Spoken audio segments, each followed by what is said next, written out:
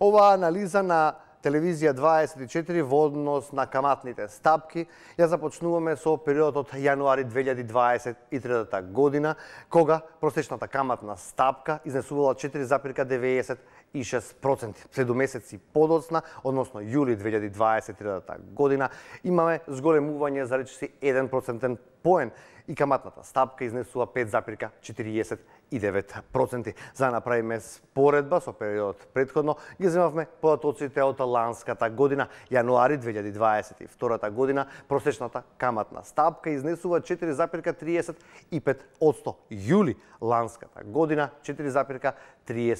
4,30% и 3 Во однос на ново одобрените кредити, во јули годинава имаме повторно зголемување на каматната стапка и таа е на ниво од 5,75 јули 2020. Втората година 4,1 Што се однесува до вкупните депозити на граѓаните, јули годинава таа е на ниво од 1,5 а истиот период лани е на ниво од 0,60 одсто. Што се однесува до новопримените депозити, јули годинава 1,1% и јули ланската година 0,84 Осто.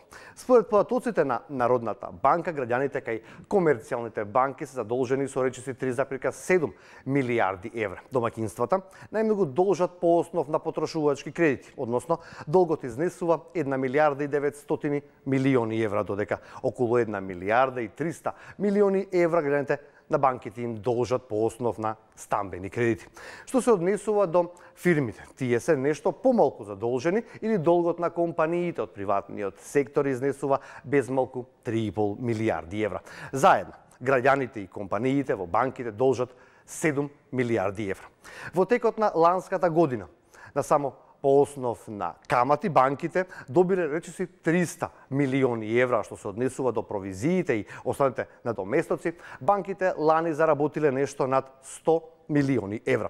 Информациите велат дека вкупната актива на сите 13 комерцијални банки во македонскиот монетарен систем изнесува нешто над 11 милиарди евра.